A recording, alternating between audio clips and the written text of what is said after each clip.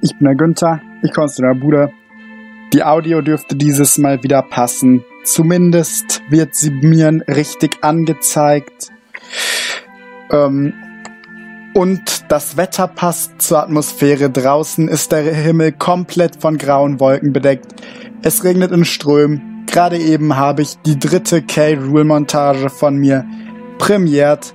Falls ihr es nicht gesehen habt, gerne reingucken. Ist mir meiner Meinung nach doch gut gelungen. Und es ist Zeit für das große Finale der Pokémon Mystery Dungeon Virus Edition 2. Aber dumm. Mich hat's echt überrascht, dass ich gesehen habe, dass das tatsächlich nicht so lang ist, dieses Kapitel. Ich hatte mehr im Kopf. Vor allem hatte ich mir eingebildet, dass ich, vor allem hatte ich überlegt, das vielleicht in zwei zu teilen beim Schreiben. Naja, das vorletzte Mal Virus Edition 2 in Dumm. Danach kommt nur noch äh, nur noch, hä, was laber ich? Danach kommt als nächstes die Virus Edition 4 ob noch eine 3 in Dumm kommt. Wenn dann, lasse ich mir auf jeden Fall einiges an Zeit damit. Aber das ist erst einmal ja weniger wichtig, denn es geht jetzt um diese Folge und dann ums normale Hörspiel, was denke ich doch auch für euch schon noch mal cooler ist als die in Dumm. Kapitel 19 Finale. Also das habe ich da jetzt zugerichtet. Das dunkle Duell. Als wir die Halle betraten, schien die Sonne draußen. Nein. Vor uns war ein großer Raum zu sehen. Endlich der lange Teppich auf dem Tisch. Dark Power besitzt immer noch Lord Eckes Körper. Oh du, du hast tatsächlich einen Retter gesehen. Du hast diese Necrosma-Rebellion zerstört. Derzeit bist du immer noch hier und willst mich verletzen. Ich, dein Gott.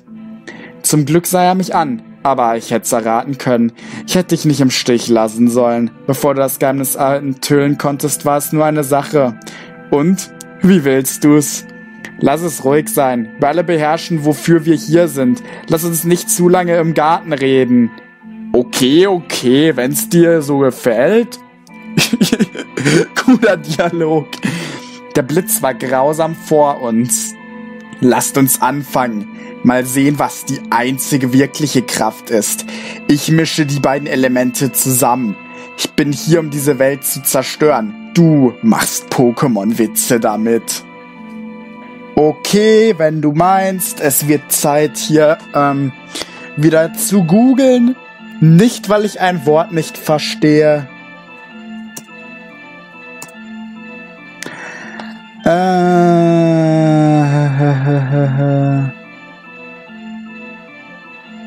Die besten Pokémon-Witze.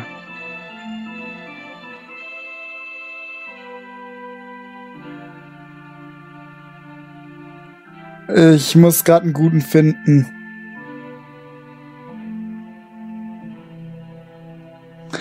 Die sind alle scheiße.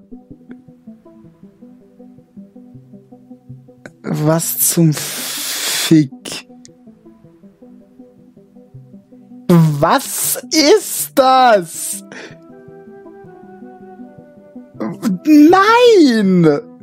Digga, diese Witze sind so schlecht, da kann ich doch auch einen besseren improvisieren gefühlt.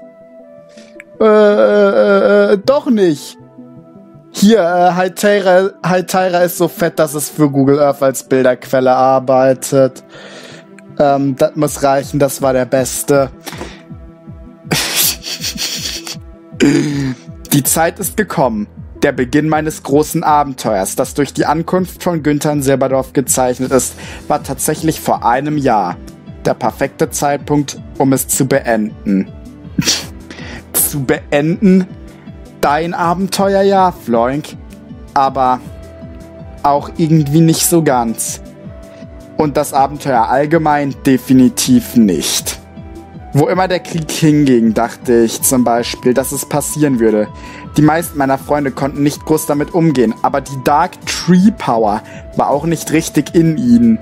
Anfangs war es hauptsächlich Ginter Ziel. Er hatte eine saubere Tafel und ich spürte auch seine Stärke. Aber damals war es anders. Jetzt war ich mehr vereint als alle meine Freunde. Insbesondere habe ich versucht, die Vorteile, mit denen ich klug gespielt hatte, in die größte Offensivsektion des Gebesandter aufzunehmen. Übrigens, ich hoffe, ihr seid mir nicht böse, dass ich dieses Mal keine Credits mache wie letztes Mal. Ich habe im Moment genug zu tun und, na, ja. Während des größten Teils der Schlacht war ich mit Lernen beschäftigt und war frustriert über die Angriffe der Großmacht. Mithilfe meiner Fähigkeiten wie Avenger Dark fand ich viel Abwechslung in diesem Thema. Vor mir kann sich die dunkle Macht nicht einmal selbst teleportieren. Lol, wie bad. Wenn es so aussieht.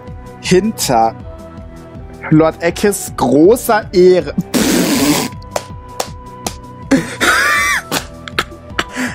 Warte. Ist das mit Ehre bei Lord Ecke ernst gemeint? Nee. Kann nicht sein.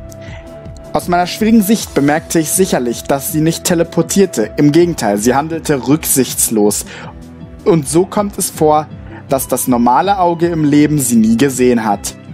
Thea fuhr einige Tage fort, bevor die Hevreng H-E-W-R-E-N-G Hevreng Forces meine Aufmerksamkeit bereits erregt hatten.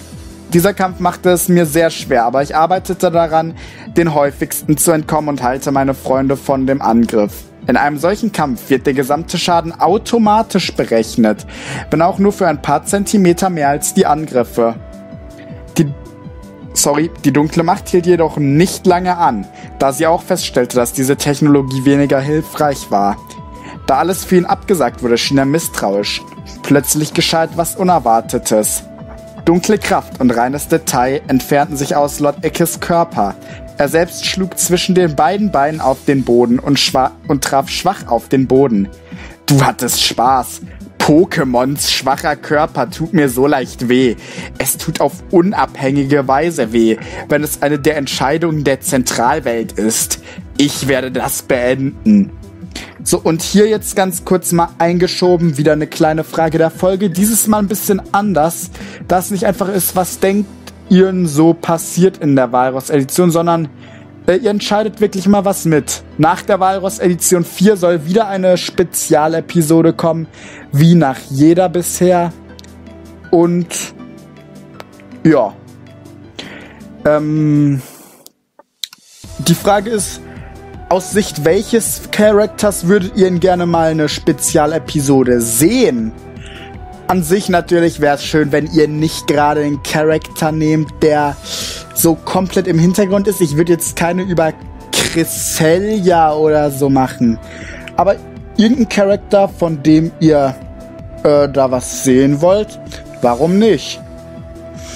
Äh, ich war gerade ein bisschen verwundert.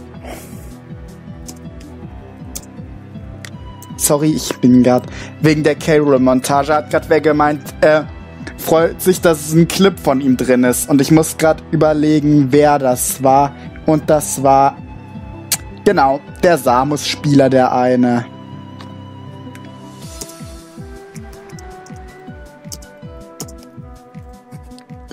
So, musste ich kurz noch eine gute Antwort zu geben. Also, wie gesagt, über welchen Charakter würdet ihr gerne mal eine Spezialepisode sehen? Ich werde mir da so Wünsche, wenn sie irgendwie umsetzbar sind und wenn ich Ideen habe, auf jeden Fall angucken. Na dann, weiter geht's. In diesen Tagen fließt ein erstaunliches Bewusstsein vor uns. Es war kein Schuss wie die dunkle Macht. Es war genauer mit Wolken. Mit einem breiten Charisma war eine helle Blitzwolke. Eine Kraft, mit der man rechnen muss. Dass der Pokémon-Körper stark sein muss, um ein autarker Teufel zu werden.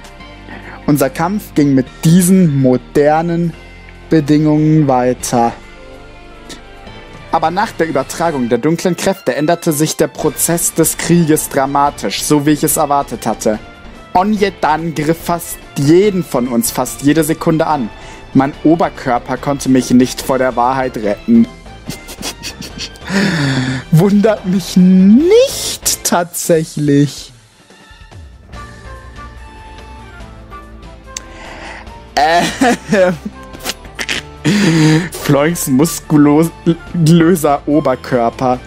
Versuchte, die dunklen Kräfte auf dem Weg zu verzögern, aber als ich Geratina und Iveltal stoppte und gegen drei Wachen ging. Diesmal brauchte ich in Wirklichkeit keine zusätzliche Zeit, um die Technologie zu nutzen. Der Bomber schlug kurz nach Mittag vor einer Polizeistation ein. Das lasse ich jetzt so sagen, würde ich sagen. Also nochmal kurz zur Sache mit Spezialepisode. An sich wäre es dann wahrscheinlich eine, die einfach ein bisschen mehr so über die äh, Gedankengänge, über die Gefühle des Charakters was aussagt. Ihr würdet einfach ein bisschen mehr über den Charakter lernen, der da letztendlich geht. Und es muss kein Protagonist sein. Ihr könnt auch einen Antagonisten äh, vorschlagen. Solange es eben ein relevanter Charakter ist. Also, Diese Wesen können nicht.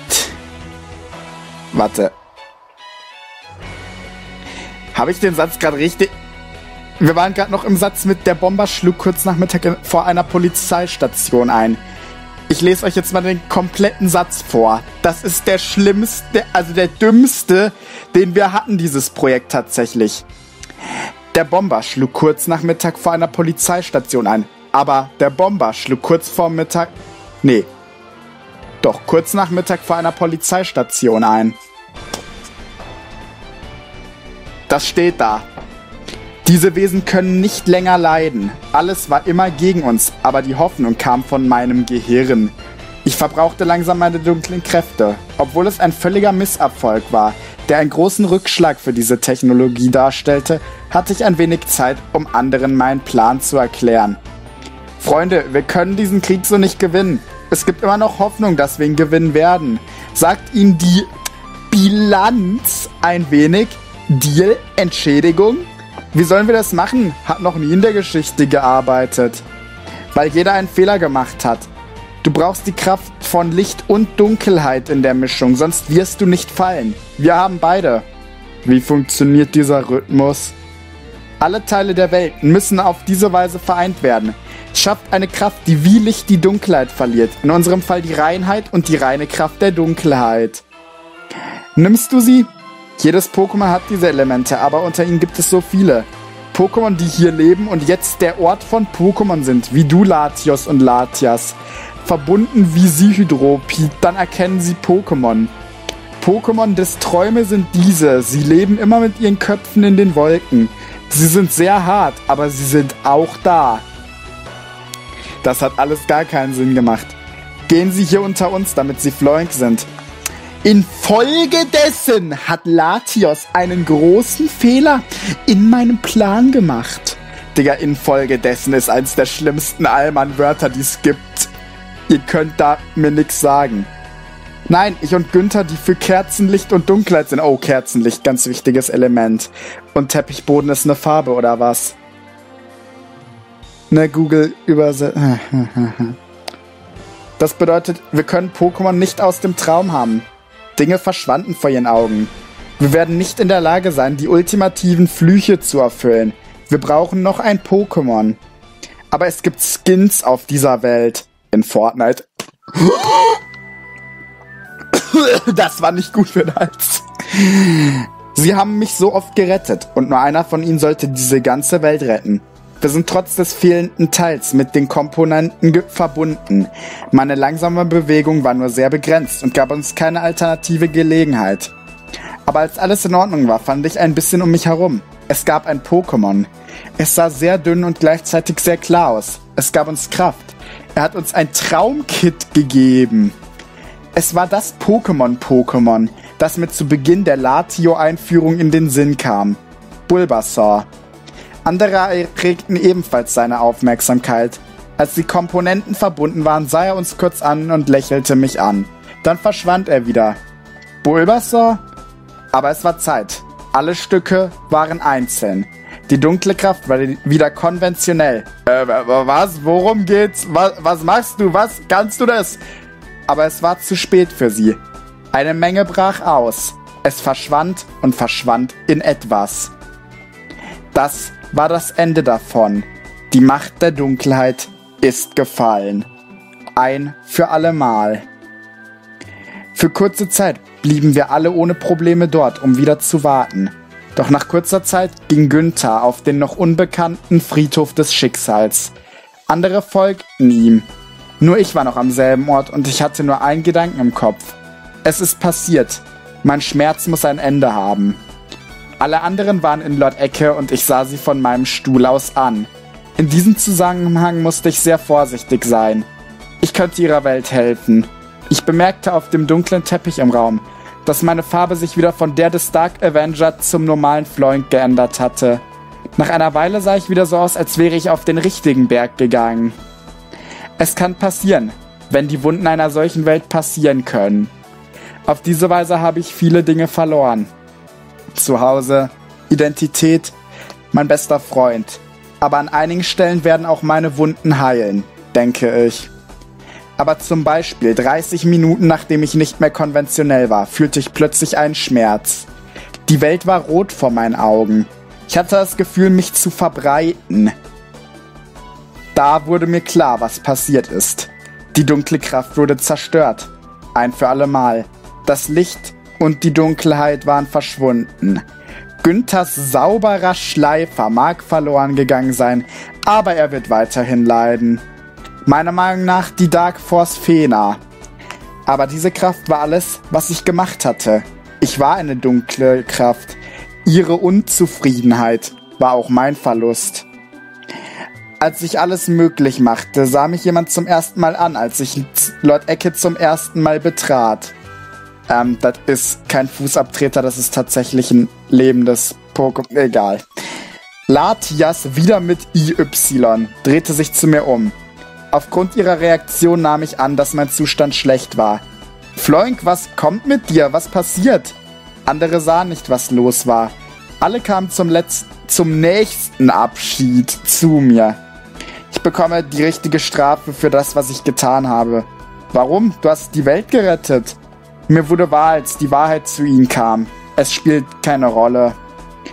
Ich, ich habe dir noch nicht die ganze Wahrheit gesagt. Über das, was ich auf dem Berg gesehen habe. Als ich ein Stück für das G... Als ich ein Stück für das G Gottenter Seele gefunden habe. Als wir sowieso alle zusammen waren, war es meine Ansicht. Es war nur ein Traum. Es war keine Nacht, sondern ein Ergebnis, Ereignis aus meiner Vergangenheit.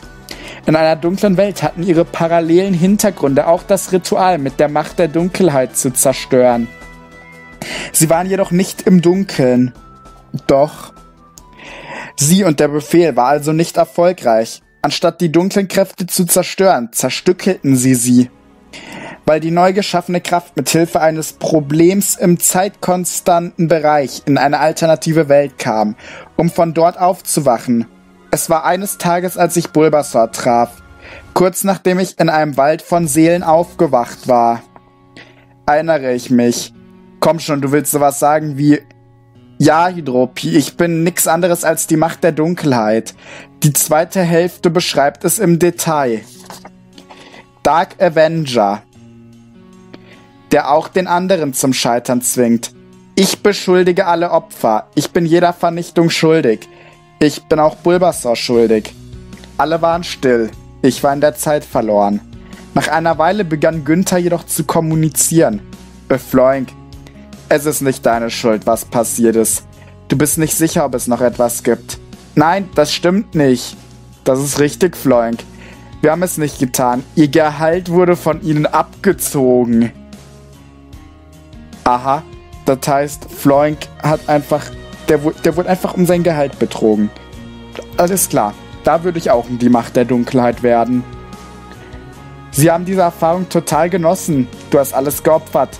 Warum stehst du gerade auf? Floink, ich weiß nicht, was ich sagen soll. Event. Ach so, das ist natürlich das Bestmögliche.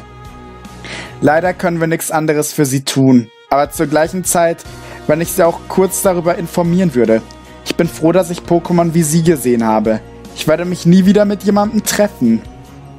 Ich und sie alle haben mich nur angesehen. Gleichzeitig konnte ich die Tränen nicht aufhalten. Du hast recht, Floink, wir wollten das. Ähm, alles klar? Das ist nicht so nett.